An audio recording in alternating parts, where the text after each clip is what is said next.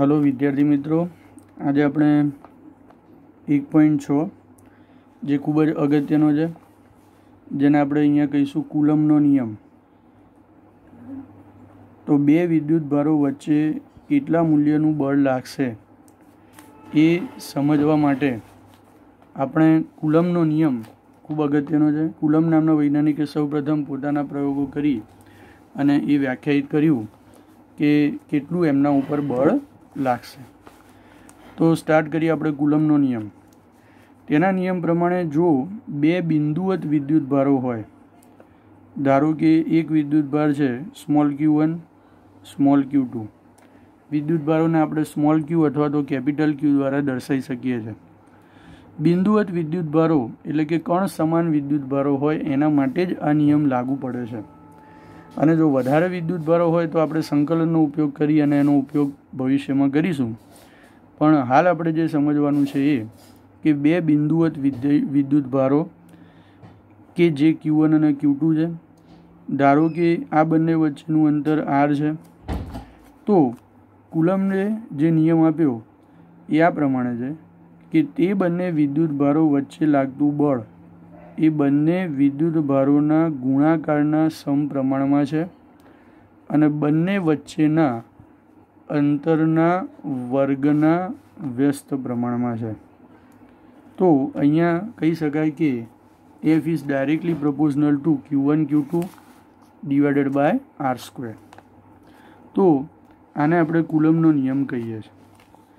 હવે જો સપ્રમાણતાની નિશાની કાઢી નાખવામાં આવે તો આપણે આને આમ લખીએ છીએ કે એફ ઇક્વલ્સ ટુ અહીંયા K Q one Q two divided by R square આ સેમ ગુરુત્વાકર્ષણના નિયમ જેવો છે કે જેમાં તમે જોઈ ગયા છો કે બે બિંદુવત વિદ્યુત ભારો વચ્ચે લાગતું બળ એ ત્યાં દળ હતું. એની જગ્યાએ અહીંયા બે બિંદુવત વિદ્યુત ભારો વચ્ચે લાગતું બળ એ તે બંને વિદ્યુત ભારોના મૂલ્યોના ગુણાકારના સમપ્રમાણમાં અને તેમની વચ્ચેના અંતરના વર્ગના વ્યસ્ત પ્રમાણમાં છે.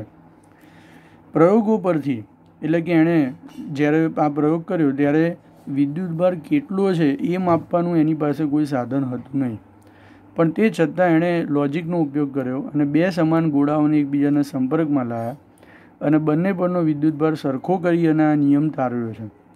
તો એ કેવી રીતે સરખો થાય એની ચર્ચા આપણે પછી કરવાની છે. હાલ આપણે જોઈશું કે F equals to K Q one Q two છેદમાં આર સ્ક્વેર હવે આપણે જોઈ ગયા કે કુલ, વિદ્યુત ભારનો જે એકમ છે, એ કુલમ છે. એવું આપણે ગયા વિડીયોમાં જોઈ ગયા. પણ જનરલી વ્યવહારમાં કુલમ ખૂબ જ મોટો એકમ પડે છે. એટલે આપણે મોટે ભાગે માઇક્રો કુલમ અથવા તો મિલી કુલમનો અથવા તો કેટલીક વાર આપણે નેનો કુલમ છે, એનો પણ ઉપયોગ કરતા હોઈએ છીએ. હવે જો અહીંયા એણે સંખ્યાબંધ પ્રયોગો કર્યા અને એના ઉપરથી એણે જોયું કે ભાઈ કેની જે કિંમત છે એ નવ multiply by ten raise to nine એટલે કે nine multiply by ten raise to nine આવે છે. તો જો હવે એનો એકમ આપણે મેળવવો હોય, આપણને ખબર છે કે દરેક એક, દરેક જે અચળાંકો છે, એ દરેક અચળાંકો એ એકમ રહિત હોતા નથી.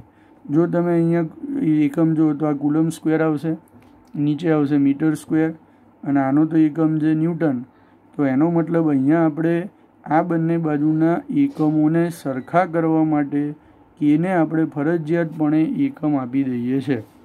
તો કે ભાઈ કેને જો એકમ આપવું હોય તો આપણે એને સૂત્રનો કરતા બનાવીએ કે કે ઇક્વલ્સ ટુ અહીંયા એફ ઇન્ટુ આર સ્ક્વેર છેદમાં Q one into Q two તો માટે કેનો જો એકમ આપણે લઈએ તો એ કેનો એકમ અહીંયા થશે. એ ન્યૂટન ઇન્ટુ મીટર સ્ક્વેર છેદમાં કુલમ સ્ક્વેર. તો અહીં આપણે કહી શકીએ કે કેનો જે એકમ છે, એ ન્યૂટન ઇન્ટુ મીટર સ્ક્વેર છેદમાં કુલમ સ્ક્વેર થાય. તો માટે કહી શકાય કે કે ઇક્વલ્સ ટુ અહીંયા નવ multiply by ten raise to નવ ન્યૂટન ઇન્ટુ મીટર સ્ક્વેર છેદમાં કુલમ સ્ક્વેર થાય.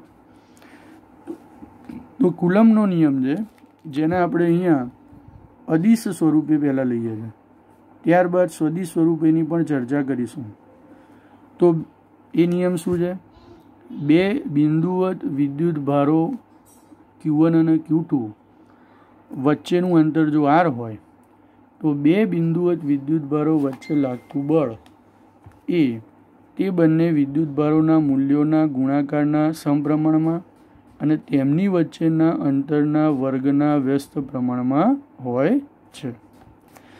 હવે આપણે સરળતા ખાતર અને બીજા પ્રયોગો ઉપરથી કે અચળાંકને આપણે આ રીતે પણ લખી શકીએ છીએ. One upon four pi epsilon zero હવે ફોર અચળ છે, પાઈ અચળ છે, એપ્સિલોન ઝીરો છે. એ જે તે માધ્યમમાં ની પરમિટિવિટી છે. સપોઝ અહીંયા આપણે સ્ટાર્ટ કરીએ છીએ ત્યારે આ બંનેને શૂન્ય અવકાશમાં મૂકીએ છીએ શૂન્ય અવકાશ અને હવાની લાક્ષણિકતા એટલે કે હવામાં બહુ ઘનતા હોતી નથી, એટલા માટે જે શૂન્ય અવકાશની લાક્ષણિકતા છે એને એ જ લગભગ હવાની લાક્ષણિકતા મળે છે. પણ જો આ જ બે વિદ્યુતભારો પાણીમાં મૂક્યા હોય કે બીજા કોઈ માધ્યમમાં મૂક્યા હોય, તો તેમની વચ્ચે લાગતું બળ બદલાઈ જાય છે. અને એ બદલાવાનું ની સીધી ઇફેક્ટ એના આ એપ્સિલોન ઝીરો અચળાંક પર મળે છે. જેને આપણે અહીંયા કહીએ છીએ શૂન્ય અવકાશની પરમિટિવિટી. શું કહેવાય છે? શૂન્ય અવકાશની પરમિટિવિટી. બરાબર? ઇંગ્લિશમાં આપણે એને પરમિટિવિટી કહીએ છીએ. ગુજરાતીમાં આપણે એને કહીએ છીએ પરાવૈદ્યુતાંક. જો કે આપણે અહીંયા ગુજરાતીમાં પરમિટિવિટી લખશો તો ચાલશે. હવે આ શૂન્ય અવકાશમાં જો આપણે આ બે વિદ્યુતભારો મૂક્યા હોય તો તેમની વચ્ચે લાગતું બળ શોધવા આપણે એપ્સિલોન ઝીરો મૂકવા પડે. અને શૂન્ય અવકાશ માટે કેની કિંમત આ છે. તો માટે જો epsilon zero equals to one upon four pi epsilon ઝીરોની જગ્યાએ સૂત્રનો કરતાં બનાવતા વન અપોન ફોર પાઈ કે લઈએ, તો અહીંયા કિંમત eight point eight five multiply by ten raise to minus twelve મળે છે. હવે ફોર અને પાઈને તો કોઈ એકમ છે નહીં. તો પરમિટિવિટીનો એકમ એ જે કેનો એકમ હોય છે, એના કરતાં વ્યસ્ત લઈ લેવામાં આવે છે. એટલે કે અહીંયા જો કેનો એકમ આપણે લઈએ, તો એ કુલમ સ્ક્વેર, સોરી, એપ્સિલોન જીરોનો જો એકમ લઈએ, તો એ આના કરતાં વ્યસ્ત, એટલે કુલમ સ્ક્વેર છેદમાં ન્યૂટન પર મીટર સ્ક્વેર. તો આના ઉપરથી આનું પારિમાણિક સૂત્ર પણ બનાવી અને યાદ રાખવાનું. આનું પણ પારિમાણિક સૂત્ર બનાવી અને યાદ રાખવાનું. પણ પારિમાણિક સૂત્ર બનાવતી વખતે કુલમ એ એસઆઈ એકમમાં આવતો નથી. એટલે અહીંયા ક્યુ ઇક્વલ્સ ટુ આઈટી પ્રમાણે કુલમનો એકમ એ વન અને ટી વન અહીંયા લેવાનો હોય છે. ઓકે? તો એ તમે જાતે પ્રયત્ન કરજો. હવે આપણે જોઈએ.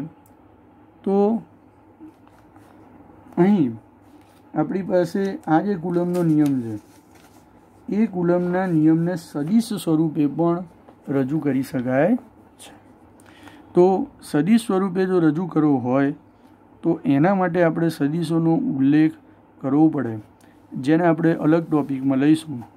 પણ અહીંયા યાદ રાખો કે આ કુલમનો નિયમ છે જે ગુરુત્વાકર્ષણના બળના નિયમ જેવો જ છે. સાથે સાથે એપ્સિલોન ઝીરો છે એ શૂન્ય અવકાશની પરમિટિવિટી છે. હવે જો આ બે વિદ્યુત ભારોને જો બે વિદ્યુત ભારોને એપ્સિલોન પરમિટિવિટી ધરાવતા માધ્યમમાં મૂકવામાં આવે, એપ્સિલોન પરમિટિવિટી ધરાવતા માધ્યમમાં મૂકવામાં આવે, તો તેમની વચ્ચે લાગતું જે નવું બળ છે, એ એફ વન ઇક્વલ્સ ટુ એ આ રીતે લખાય, વન અપોન ફોર પાઈ. હવે એપ્સિલોન ઝીરોની જગ્યાએ એપ્સિલોન થઈ જશે. અહીંયા Q one, Q two divided by R square. ખ્યાલ આવ્યો? અહીંયા શું કર્યું? કેની જગ્યાએ પહેલાં one upon four pi epsilon zero હતો. હવે પહેલાં શૂન્ય અવકાશમાં બંને વિદ્યુત ભારો હતા.